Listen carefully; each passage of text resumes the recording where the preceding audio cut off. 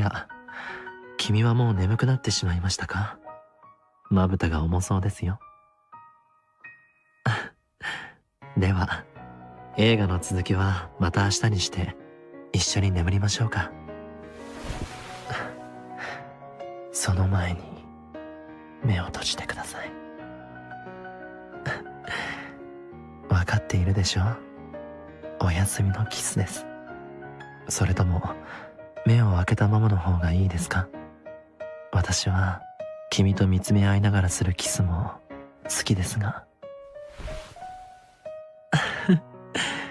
素直に閉じてしまうんですね。少し残念ですが。こうして君が目を閉じてくれると恥じらうその顔を密かに見つめることができるのですよ。とは伝えず私の胸の中に秘めておきましょうか。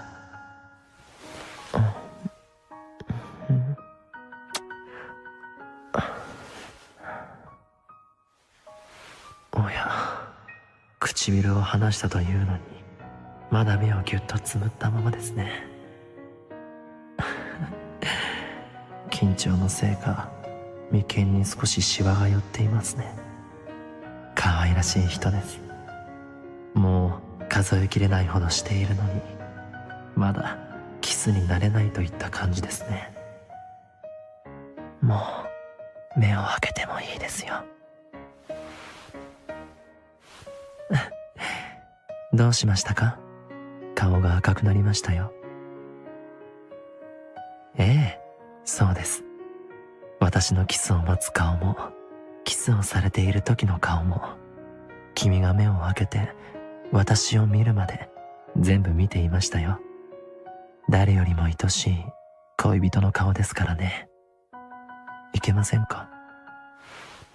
お、どうしてまた目を閉じようとするのですか？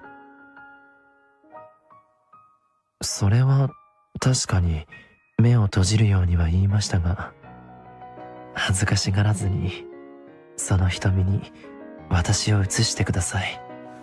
ほら。それとも、またキスがしたいんですか？私は構いませんよ。そのまま、じっとしていてください。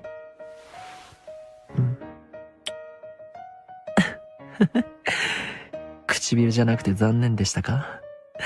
君が堅くなに目を閉じるので、まぶたにキスをしてほしいのかと思ったのですが、そうやって意地を張るのなら、もう一度してしまいますよ。次は、どこにしましょうか君が一番ドキドキするところにしましょう。さあ、目を閉じて。